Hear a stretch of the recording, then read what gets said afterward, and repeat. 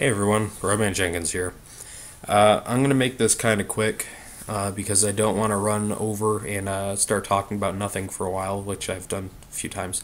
I wanted to show you guys what Intel does. I picked up one of those things at the uh, end of the last level, and if you pick up more of them, you remove all these black lines here, and it shows you text like this.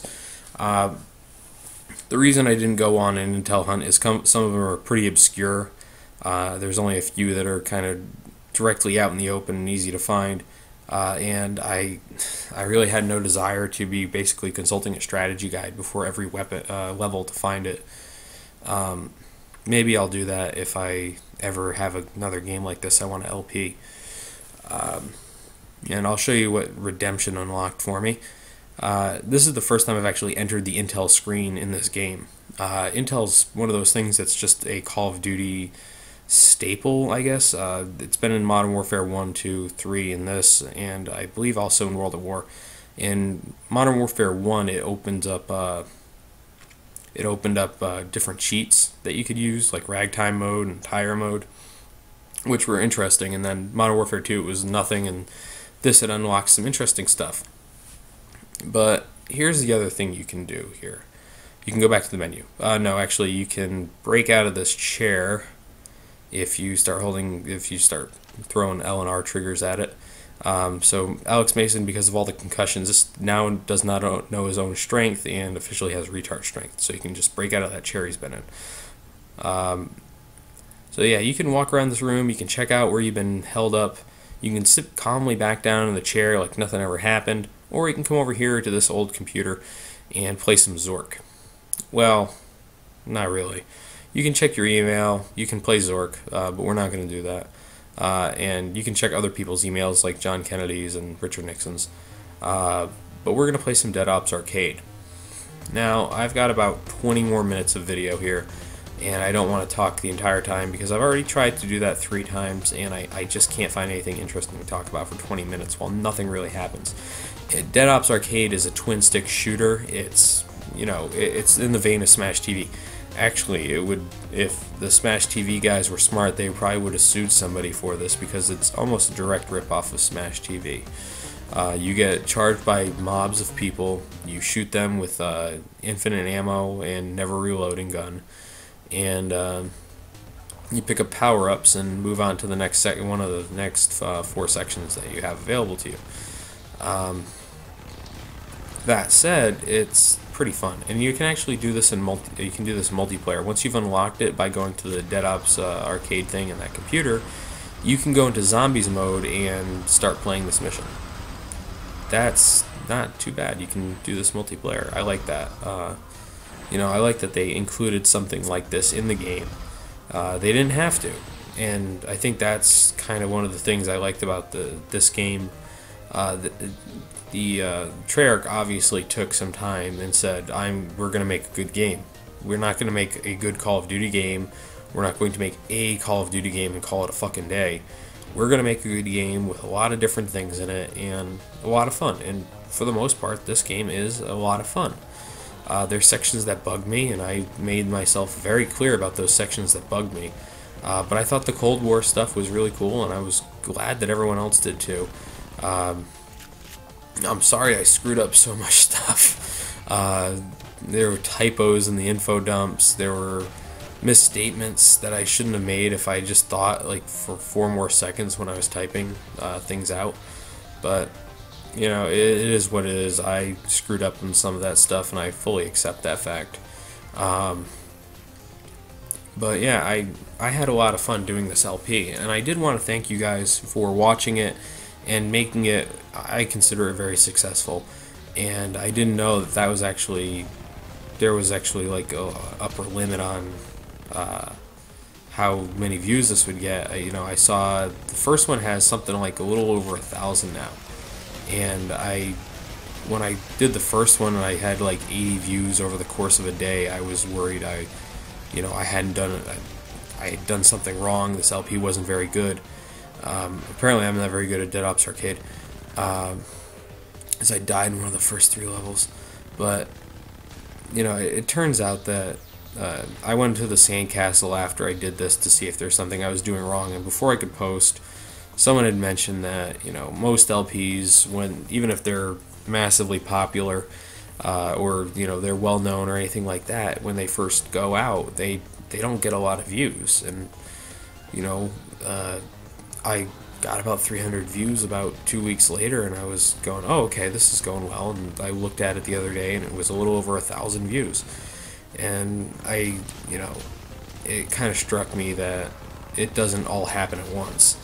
Uh, so I, I, wanted to thank everyone who watched the videos over time and who's coming into them now, even if I if, uh, when I bump this thread with this video.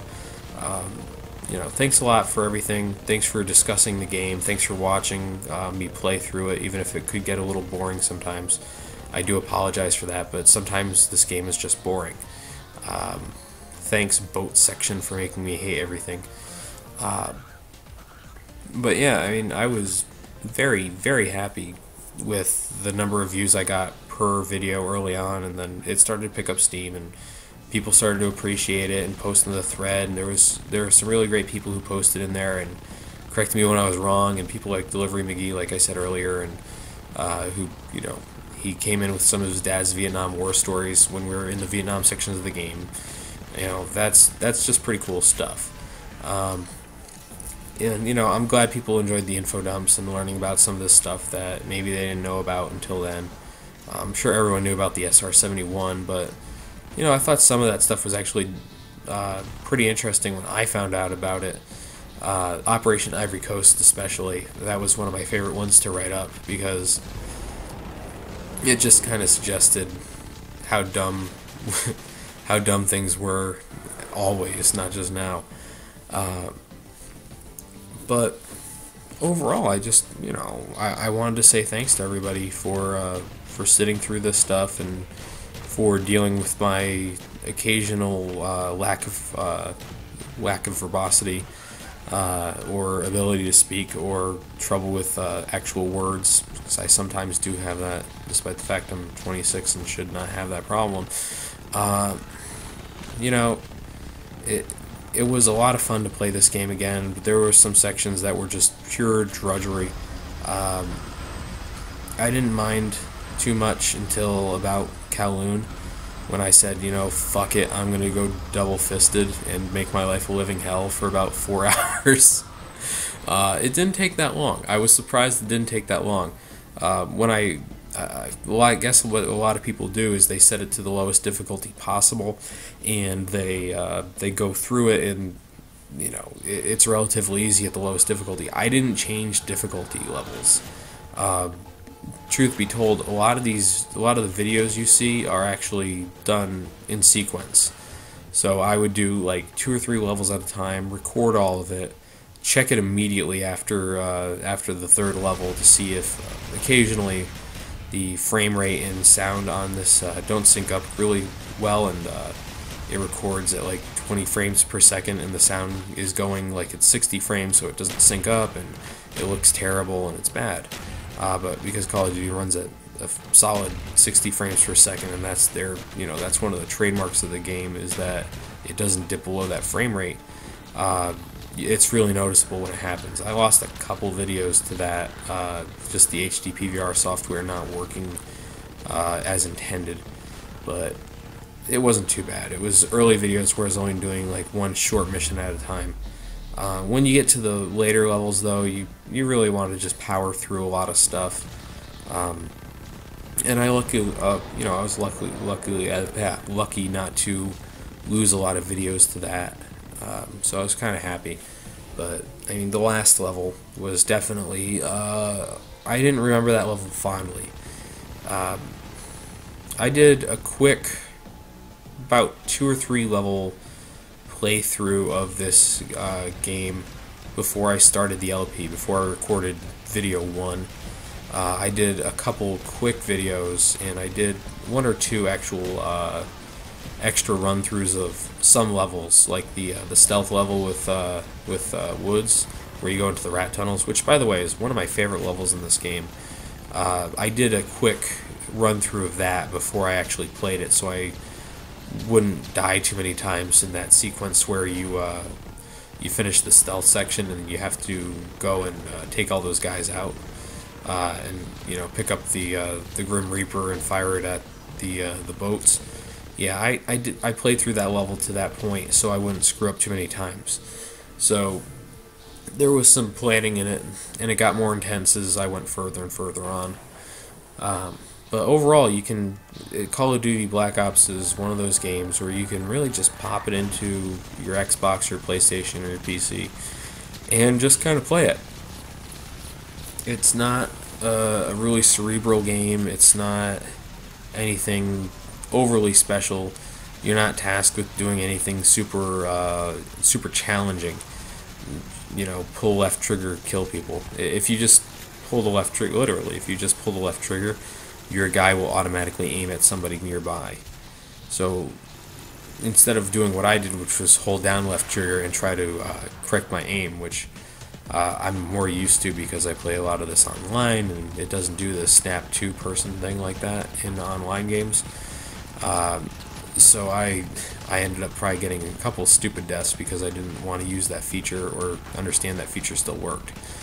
Um, but yeah, it it was a fun experience. Uh, it's it it's a good game to LP. It's a good game to cut your teeth on. I think because it kind of plays itself out. You know, it's so highly scripted.